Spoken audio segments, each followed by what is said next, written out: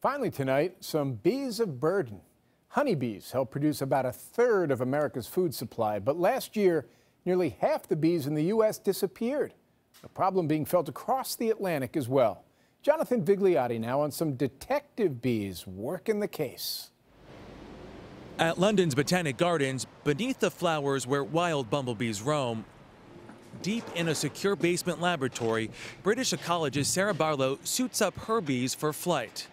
It's called the Bumblebee Backpack, and it's one of the smallest tracking devices ever placed on a living organism.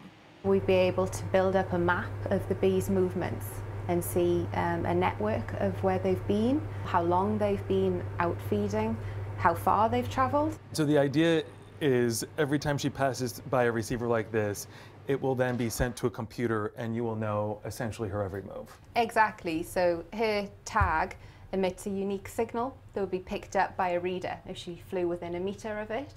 A bumblebee radar, but outfitting the bees with her prototype backpack is no small feat. Barlow stores her bees in a refrigerator. The cold makes them more docile, usually. And she's making those warning sounds just to tell me.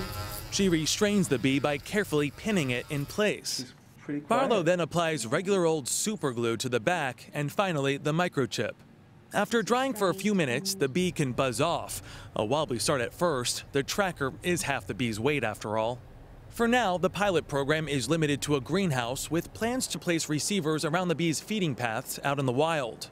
Barlow developed the backpack with engineer friend Dr. Mark O'Neill, who before bees tracked missiles for the British military. Why put so much effort and energy into this? Simply because it's interesting. I'm, I'm curious about the world and you need these sorts of tools to actually understand the complexity of, of, of living systems properly. It's one tiny tool that Barlow and O'Neill hope will unlock the secret world of bees and the mystery behind their disappearance. Jonathan Vigliotti, CBS News, London.